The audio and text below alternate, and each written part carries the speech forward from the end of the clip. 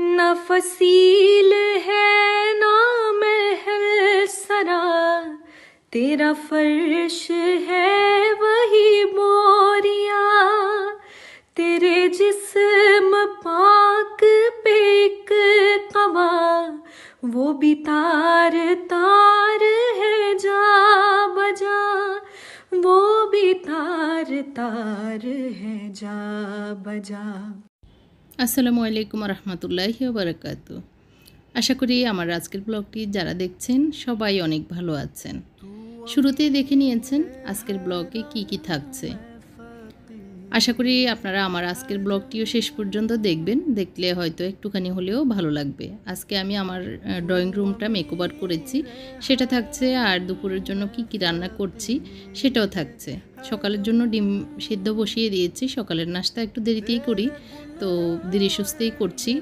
অনেকগুলো রান্নাবান্না করে ফেলতেছি। তারপরে খাবার খাব। নাস্তার জন্য শশা গাজর কুটে নিয়েছি, কাঁচামরিচের বটা ছিলবো, তো সেজন্য ওইভাবে রেখে দিয়েছি। এক পট ভাত রান্না করেছি, হয়তো দুই দিন যাবে আমার ছেলেদের জন্য। ইলিশ মাছের ঝোল করে রান্না করছি। আমাদের জন্য সকালের নাস্তার জন্য ঢেঁড়স ভেজে নিয়েছি।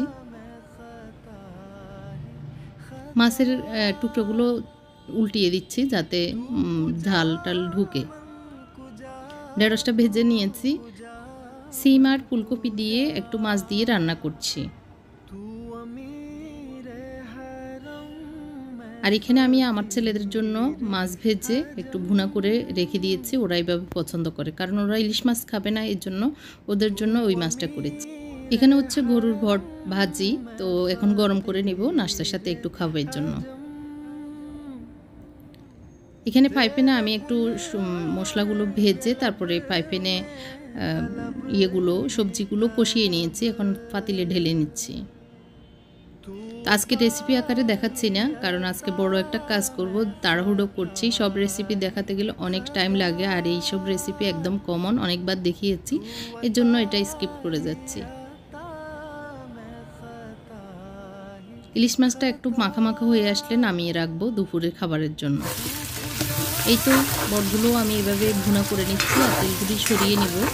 কারণ এগুলি চর্বি বা তেল, যেটাই হোক, একটু সরিয়ে নিলে উপর থেকে শুধু আমি বটটা নিব ফ্রিজে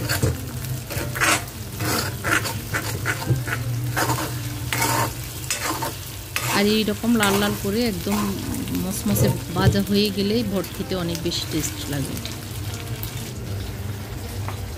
এর ভিতরে আমি একটু পানি দিয়েছিলাম সবজিতে, তো এখন হয়ে গিয়েছে। তারপর লবণটা চেক করে লবণ দিয়ে দিব, হয়তো একটু লবণ লাগতে পারে। যে কোনো সবজি আমরা জানি বেশি জোশ করে খাওয়া ঠিক না, তো সেই হিসাবে আমি একদম জোশ করে নরম করে ফেলব না, একটু গোটা গোটা থাকবে, দেখতেও ভালো লাগবে, খেতেও ভালো লাগবে। এরকম অবস্থায় নামিয়ে নিব। এর ভিতরে এই যে উপর থেকে তেলগুলো নিচে নেমে এসেছে, এখন চুলাটা অফ করে দিব বটের। তো সবজিতে যেটা বললাম, একটু চেক করে নিয়েছি, সবজিতে একটু লবণ কম হয়েছে, এখন একটু লবণ দিয়ে দিচ্ছি। আপনারা অনেকেই জানেন, আমরা একটু ডায়েট করছি। ঝাল, লবণ একদম পারফেক্ট না হলে খেতে ভালো লাগে না, যেহেতু শুধু শুধু সবজি খাই।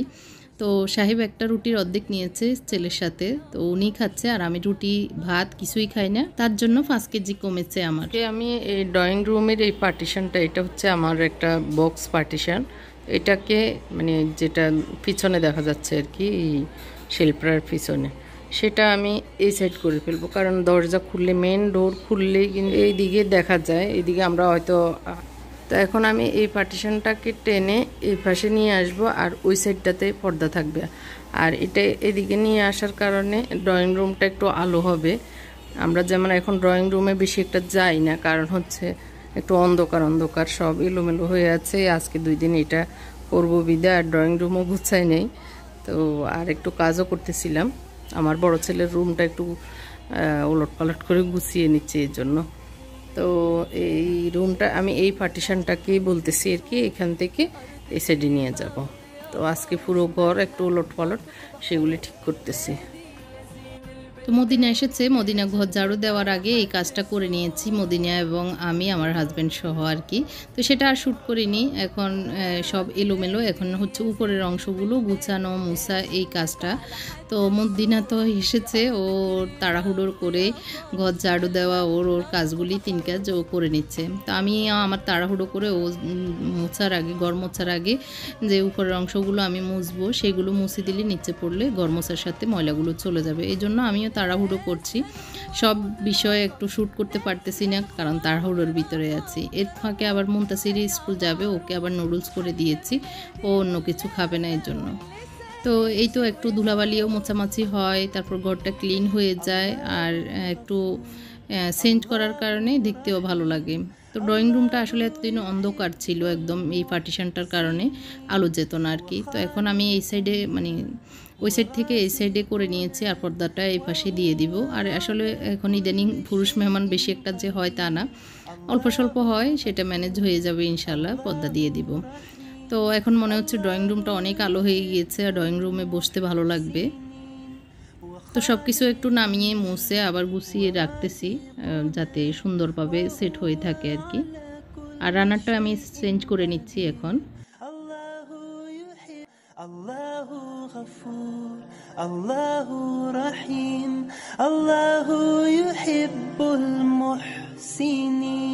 ওয়া তো রানার ওইটা উঠিয়ে নিয়েছি। এখন আমি আরেকটা রানার দিব, সেটা কিছুদিন আগে গত ব্লগে আর কি দেখেছিলেন। আমি একটা পাড়ের কাটিং করছিলাম। তো সেটার একটা লম্বা আছে, সেটা এখন আমি এই যে বিছিয়ে দিচ্ছি। আর পিঙ্ক কালার দিচ্ছি, এখানে কয়েকটা পিঙ্ক কালারের শোপিস আছে। তো দেখতে ভালো লাগবে, এই সাইডটা একটু ফিঙ্কি ফিঙ্কি লাগবে, আমার কাছে ভালো লাগবে। তো হয়তো অনেকে বলবেন যে অনেক জিনিসপত্র, তো আসলে এক এক ধরনের এক একজনের এক এক রকমের রুচি, এক এক রকমের পছন্দ, যার যেভাবে আসলে ঘর সাজাতে মন চায় সে সেভাবে করবে। তো আমার কাছে এইভাবে একটু ঘন জিনিসপত্র থাকলে ভালো লাগে, সেই হিসাবে আমি এভাবে সাজাই নিয়ে। গাছগুলির একটু পাতাগুলো পরিষ্কার করে দিচ্ছি। আর সব জায়গায় আমার একটু রিয়েল প্ল্যান্ট থাকবে, এই চিন্তা থেকে ঘরে অনেকগুলো গাছ রেখে দিই।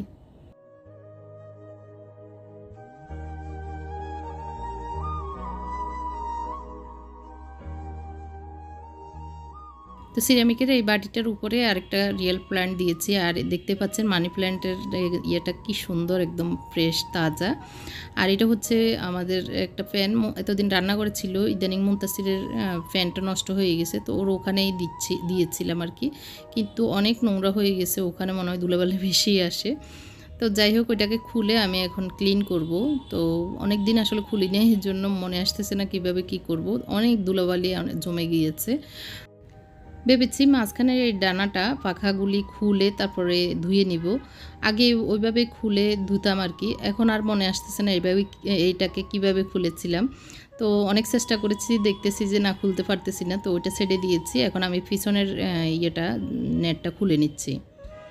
আর পিছনের নেটটা হচ্ছে স্ক্রু দিয়ে লাগানো, তো ওইটা খুলে নিয়েছি। অনেক দুলাভালি অনেক দেখতে আমার কাছে ভালো লাগছে না, এতদিন কেন যে আমি এটা মুছি খেয়াল করি না আর কি। চোখে পড়ে নাই। এখন দেখে খুবই নোংরা হয়ে আছে দেখে। তো এখন এটাকে ভালো করে স্প্রে করে মুছে নিব। তো প্রথমে আমি এই জালিগুলিকে একটু পানি দিয়ে ভিজিয়ে নিই। তো আজকে এই বড় কাজটাও করছি একসাথে। আসলে একটা কাজ ধরলে তার সাথে সাথে অনেকগুলো কাজ হয়ে যায়।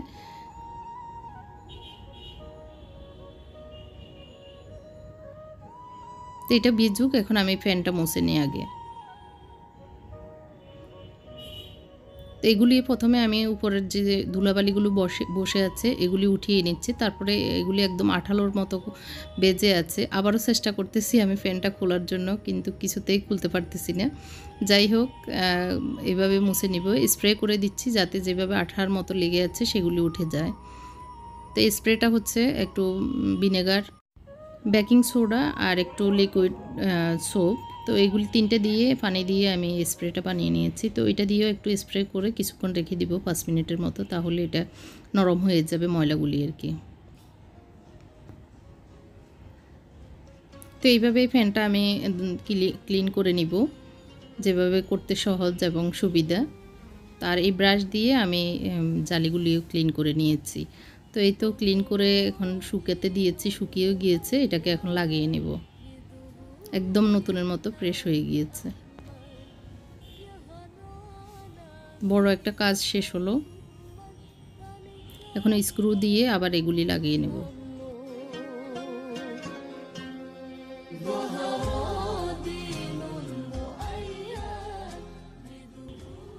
এরপর আবার চলে এসেছি ড্রয়িং রুমে একটু রান্নাবান্না যেহেতু শেষ হয়ে গেছে, আসলে একটু একটু করে যখন যেটা হাতে আসতেছে সেটাই করে নিচ্ছি। তো এই রানারটাও চেঞ্জ করে নিব জুতার বক্সের উপরে আর কি। তো আগে যে জিনিসগুলো আছে সেগুলিই থাকছে, শুধু জাস্টটা একটু চেঞ্জ করে এটা সেটা করে জায়গা চেঞ্জ করে দিচ্ছি আর কি।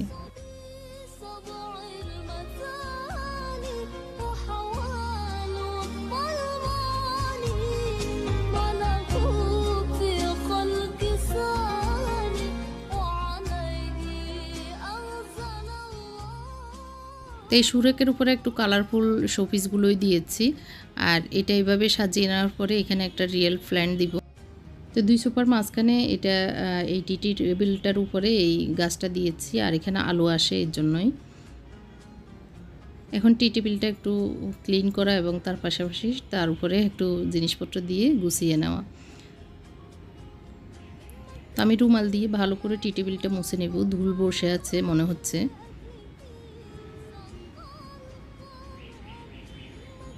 তো আমি একটু হালকা ভিজা রুমাল দিয়ে ভালো করে মুছে নিচ্ছি। এখন এটার উপরে আমি একটু চারকোনা একটা ইয়ে দিয়েছি, দিয়ে দিচ্ছি, ম্যাট আর কি।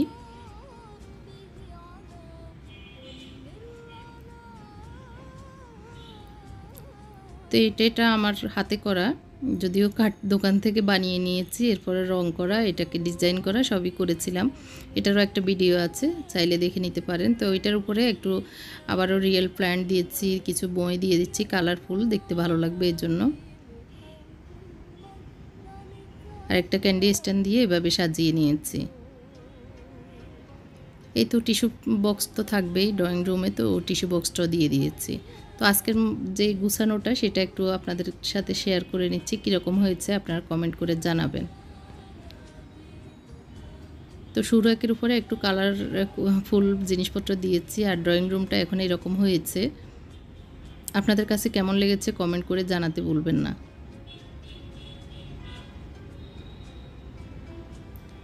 আর গাছ যেখানে থাকে প্রাণবন্ততা ওইখানে আরও বেশি ফুটে ওঠে।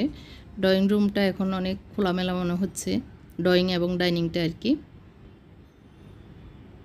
আর এই সাইডটা আমি যেভাবে এখন গুছিয়ে নিয়েছি।